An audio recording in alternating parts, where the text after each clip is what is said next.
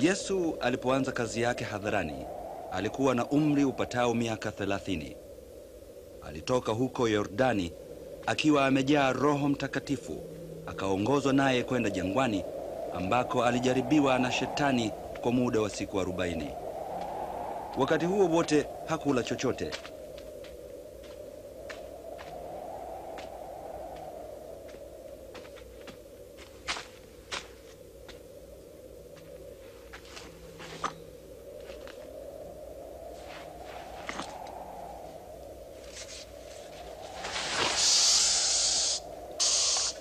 Na Shetani akamwambia, Kama wewe ni mwana wa Mungu, liamuru jiwe hili liwe mkate. Imeandikwa, mtu hataishi kwa mkate tu, bali kwa kila neno asemalo Mungu.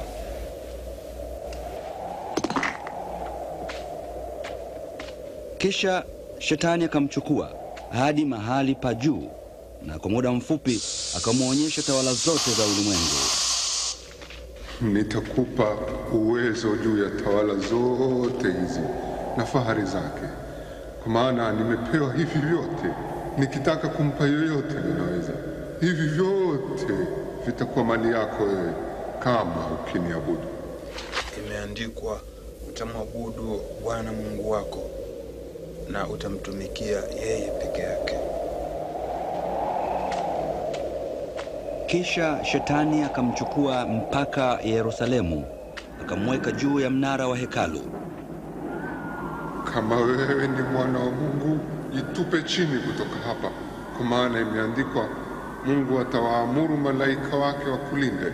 Na pia imeandikwa, watakuchukua mikononi mwao, usije ukajikwaa mguu kwenye mawe. Imeandikwa, usimjaribu Bwana Mungu wako.